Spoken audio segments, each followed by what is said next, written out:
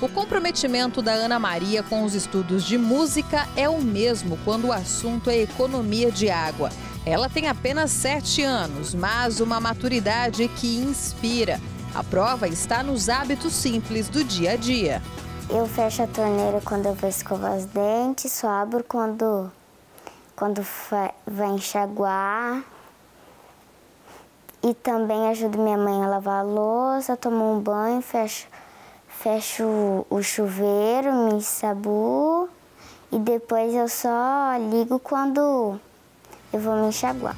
Ela tem aprendido a não gastar nenhuma gotinha de água a mais do que o necessário.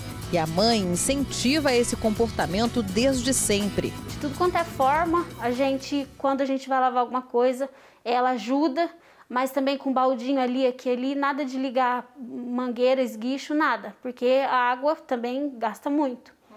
E é isso que a gente faz. E ela tá aprendendo. Ela até chama atenção quando a gente né, pisa na bola alguma, algumas vezes, ela chama atenção. Fecha a torneira, não deixa a torneira aberta.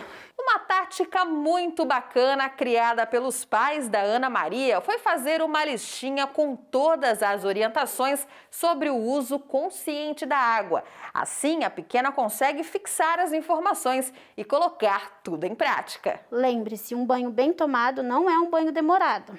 É aqui é, é, é o que frisa bem. Usar a água da máquina para lavar o quintal é ótimo.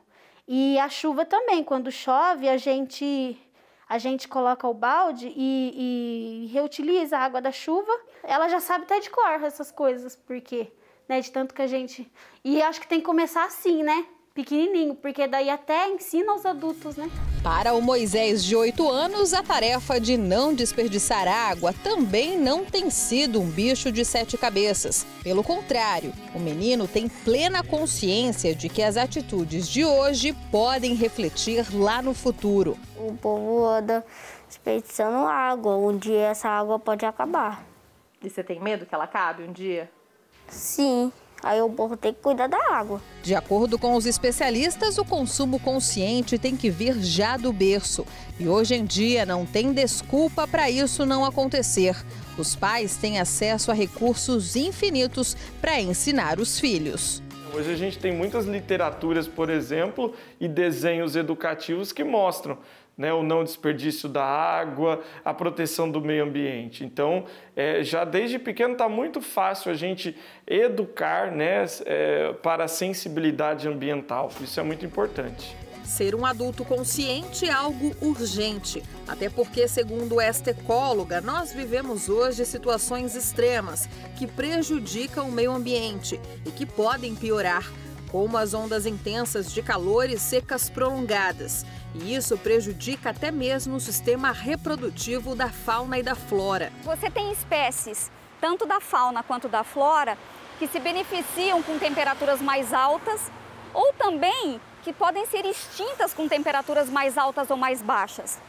Né? Saindo dessa temperatura normal onde essas espécies foram geradas. Saber dos impactos atuais contribui para que as gerações mudem a forma de pensar e agir. Esse adulto consciente, esse adulto é, preocupado com o planeta, é aquele que vai fazer opção na hora de comprar um equipamento, por exemplo, com baixo consumo de energia, com baixo consumo de água, opta pelo tipo de combustível que vai abastecer o veículo, não queima o lixo é, é, entendendo que vai se livrar desse lixo, porque é uma contribuição pequena, mas é uma, imagina todo mundo fazendo isso todos os dias. Né? A contribuição para a poluição é aquele que planta uma árvore, mesmo que não faça sombra na calçada da sua casa. É, é esse o, o cidadão do mundo que nós precisamos.